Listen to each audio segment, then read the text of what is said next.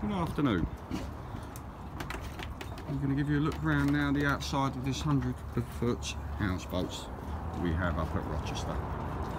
As you can see, the many skylights, which is um, a very good reason for uh, the well lit area that's inside. Getting up onto the decks just to give you a better look. Now he's got some timber available here. He's been doing, or constantly doing jobs on the vessel. Um, seems to be doing the work to quite a too.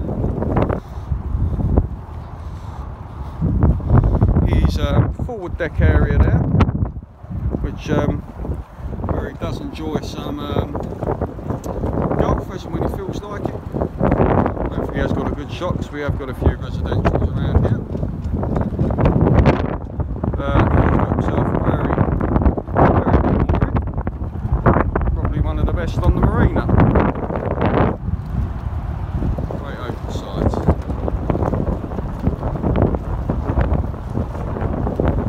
An overly functional vessel.